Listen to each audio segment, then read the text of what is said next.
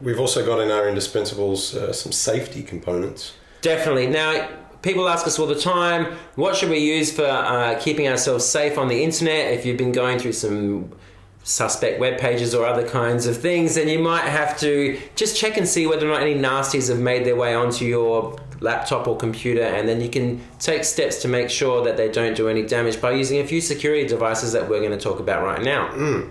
So again, Microsoft offers a good one called uh, the Online Scanner or Yeah. the Safety Scanner. It's a it's a rather large download.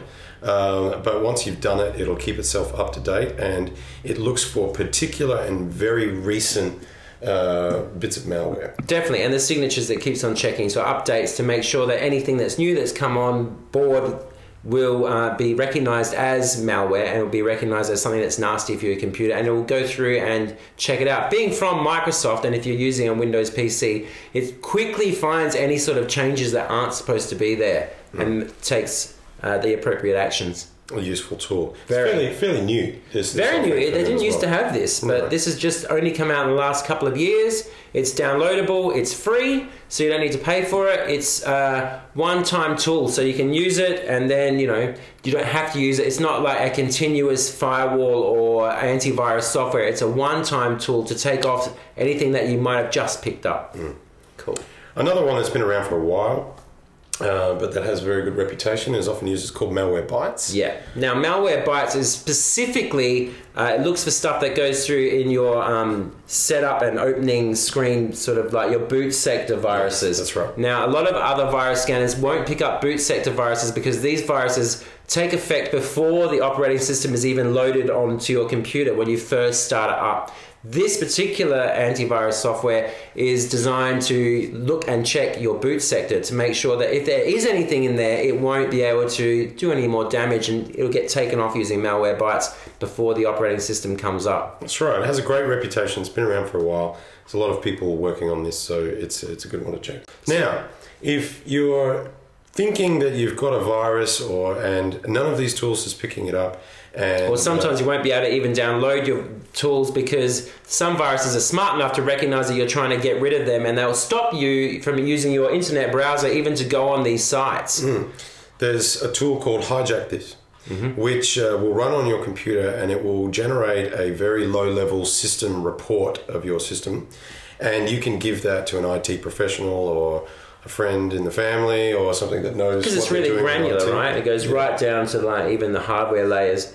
Yeah, Hijack This has been around for quite a while. Yeah. And uh, if you visit forums uh, and so forth, asking if you've got some kind of malware on your machine, quite often they'll just say now post your hijack this log. Yeah. So you, you download this program, hijack this. You can find it from a Google search and run it, and it generates a it's a very long text file. Yeah. So it's which is- basically a report. It's a report. It's details on all the services and Yeah. drivers and versions that are running on your system. Yeah. And an IT professional can generally analyze this and see if something sticks out that shouldn't be there. Definitely. Something wrong.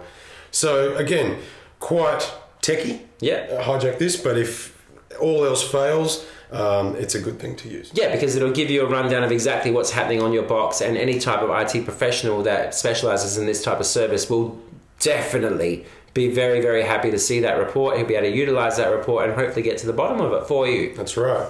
And then, well, we have uh, safe browsing or Sure. anonymous browsing. Since we're talking about security and we're talking about online safety, I think it uh, definitely serves us to mention the fact that there is an online web browser called Tor, the Tor project, which gives you basically internet anonymity where you can browse online. It, it doesn't show where you're from, it doesn't show uh, any, it doesn't pick up any of the analytics that normally any of your web browsers will do, so that you don't have to have people know exactly what your internet habits are, what your purchase history is, all that sort of stuff that you might do through your normal browser. That stuff is usually collected and used by Google or any of the other web browsers, Bing, um, uh, Chrome, all of them. All of them now, because really, uh, probably the most obvious uh, lack of anonymity that comes out in web browsing today is through advertising.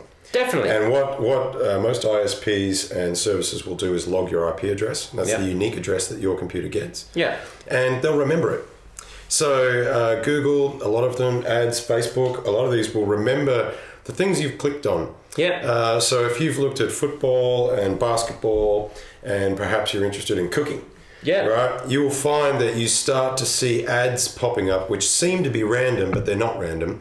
Yeah, and they'll come up and they'll be cooking and they'll be footy, and it's logged and categorized. Yeah, based on your, IP browsing address. habits. That's right. And your IP address, the best way to think of it is like this. If you've got a car, it's got a registration plate, Hmm. and on that registration plate is unique. Well, your, your computer also has an ISP address, which is unique to your computer. Yep. So it's just like the reg on your car. So what happens is when you start searching through the internet, you start clicking on certain things. Let's say you're going to Venice and you want to start looking at holiday destinations and stuff like that. You'll start getting ads popping up specifically about those holiday destinations that you were talking about. That's right. Now that isn't random. That's based on the analytics of what you've been clicking on. So you get targeted advertising that's specific to what you've been browsing. Yeah. And it might be good in the long run, I guess. But if you don't like that, if you don't want to have people knowing exactly where you've been or what you've been looking at, and you just want that bit of anonymity, then Tor is what you need to use. That's right. It'll create multiple hops around sites and it'll encrypt that traffic.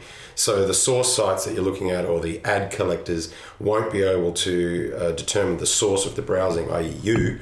And so it's just considered an anonymous hit. Yeah, so in Google, you type in Tor, it'll take you to the Tor project's website, and then you can download it. It's free, hmm. and it works like any other browser. It's just that it gives you online anonymity and it keeps you safe.